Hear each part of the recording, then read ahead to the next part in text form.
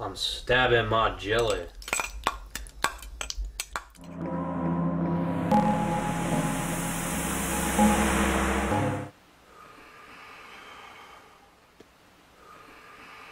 Oh, he is awake. How are you feeling, sweetheart? I feel fine. Thank you, Mother.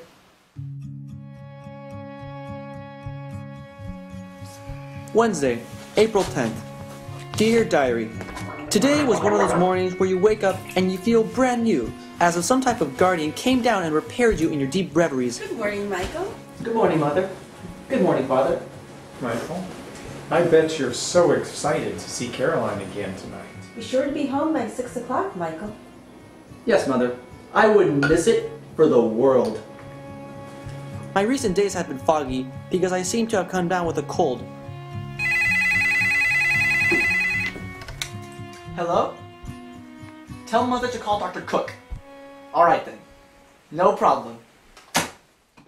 So I hear our little Walt Whitman has been busy, busy, busy. So when will the bestseller hit the stores? Well, I have been spending the majority of my time on my college essays, so I actually have been putting my other work on hold.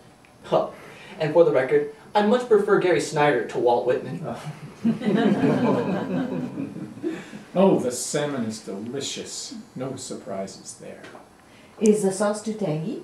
No, it is perfect. Carolyn is making serious progress in her voice lessons. Is it not true, sweetheart?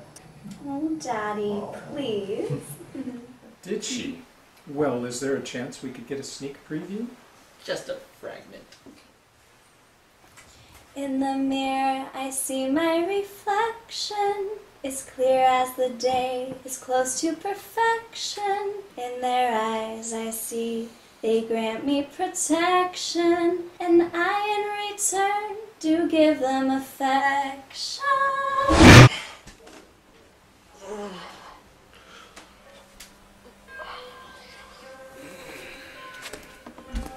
morning, Michael.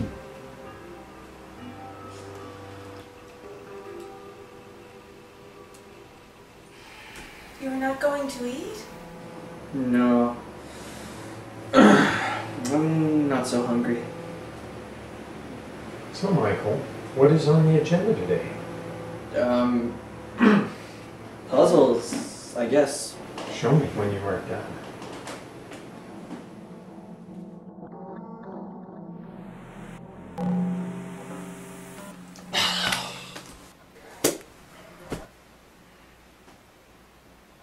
So, Michael, I hear that Brown has an excellent writing department. Nancy's friend is the. She has nothing but nice things to say about their journalism department. So Carolyn is excelling in her voice lessons at choir. Is that not true, Care Bear? Oh, Daddy, come on. Really, let us hear a little tune. Wait! Caroline, um, can we talk somewhere? What? Oh, but they want me to sing for them. Caroline, please. Just for a second. Okay. May we please be excused? Of course. Look, Caroline, you're not going to believe what happened. It's this. I recognize this plate because I have the exact same one at my house. Michael, it's just a play. Beautiful play. Michael? Michael, your mother and I are going out. Do not stay up too late. Dr. Geoffrey Cook, Perfection Consultant. What do you want? Hi, hello. I'm calling for a, a malfunction. 258 Kirkland Street.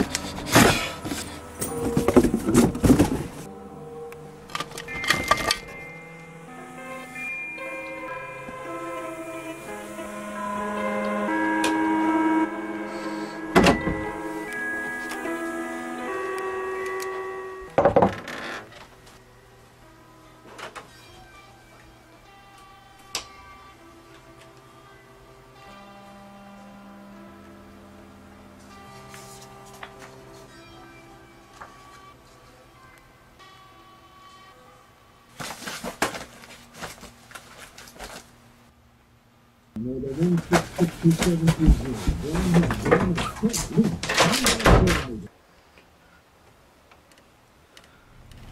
gave you a writer. Did you not get a writer? Michael T. Laughlin, order 1662720. Brown hair, brown eyes, tall, lean, hand eye coordinated, writer of nonfiction, poetry, memoirs, journalism, leg and back flexibility, enhanced metabolism, stable iron content, typing, and memory skills. Sheesh, this is the perfect son that you asked for. Yes, we did get a writer. We did get brown eyes uh-huh. and tall and all that. Uh-huh. But I just cannot uh, have Michael go through these phases all the time. I hate to see him like that, and the whole operation costs a fortune. Here, we brought his diary back. We've been using it to see if we can try and fix Michael. Every month it becomes more and more frequent. This is very shocking.